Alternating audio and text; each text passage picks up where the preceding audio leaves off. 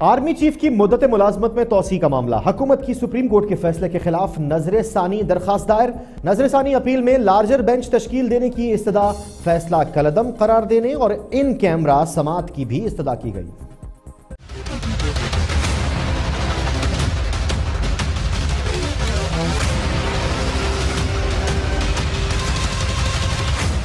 وفاقی حکومت نے آرمی چیف کی مدت ملازمت میں توسیع کے عدالتی فیصلے پر سپریم کورٹ میں نظر ثانی درخواست دائر کر دی۔ ذرائع کے مطابق درخواست میں موقف اپنایا گیا ہے کہ فیصلے میں اہم آئینی اور قانونی جائزہ نہیں لیا گیا۔ ماضی میں ایڈیشنل اور ایڈ ہاک ججز کو سپریم کورٹ توسیع دیتی رہی۔ عدالت نے ججز توسیع کیس کے فیصلوں کو بھی مد نظر نہیں رکھا۔